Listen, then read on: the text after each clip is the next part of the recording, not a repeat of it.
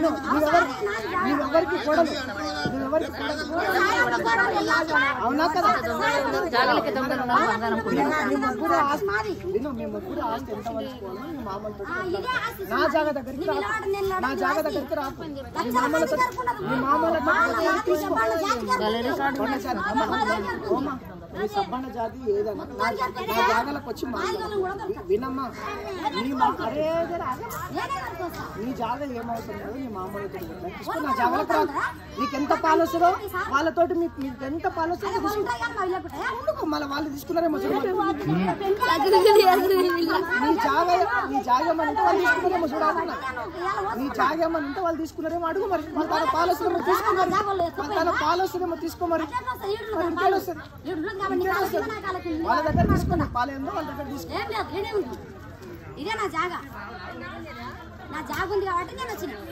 నా జాగా లేదు అంత ధైర్యంతో నేను ఊకే అట్లా రాలేను సార్ ఊకేనే విను నీ అడవిలో వాడు రాలేను ఇలా ఊళ్ళోకి వచ్చిన. నీ మామకి చిన్నప్పటి నుంచి ఏడన్న పిల్లని వచ్చి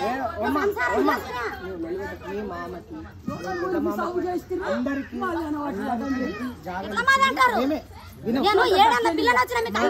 మీ మామకి నువ్వు చదువుకున్నావు సార్? నువ్వు చదువుకున్నావు పెద్ద చదువు చదివినావు కానీ ఒకటి చదవలేము రెండు చదవలేము చదవలేము మా పిల్లలు చదువుకున్నావు కావచ్చు కానీ నీవు ఎట్లా మాట్లాడుతున్నావు ఒకటి అర్థం చేసుకో సార్. ఇది మాది కాబట్టి. నీ దానికి పదే సార్లు వచ్చి నేను. విను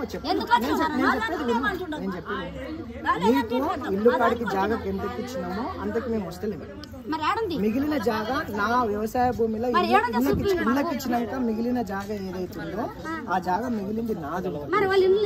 ఆ ఇళ్ళల్లో నువ్వు తీసుకో. మీ మామలను అడిగి తీసుకో. మీ మామలను? అడిగి తీసుకో. అది నీ ఇండ్లు కాబట్టి నీ పాలు ఏమన్నా వస్తే అదే దాంట్లో కట్టిన తీసుకో. చచ్చిపోయిండ్రు. నీకు- నాది కావాలంటే నాకు ఇల్లు లేదంట అని నా మిగిలిన జాగాలకు వచ్చి నా జాగా అంటే నీ- కాదు. నీది కాదు సార్ ఇది. కాదు, విను. న్యాయానికి అయితే నీది విను. కాదు. నా జాగా అంటే నువ్వు బల్బం పెట్టి చదువుకున్నాడు కానీ నీకు కాదు చదువుకున్నా కాదు. కాబట్టి చెప్తున్నా కాదు తల్లి కాదు నీకు. నీది. చదువుకున్నా కాబట్టి ఇవాళ అన్యాయం మాట్లాడొద్దు కానీ నా మగడు ఫినిషింగ్ చేసిన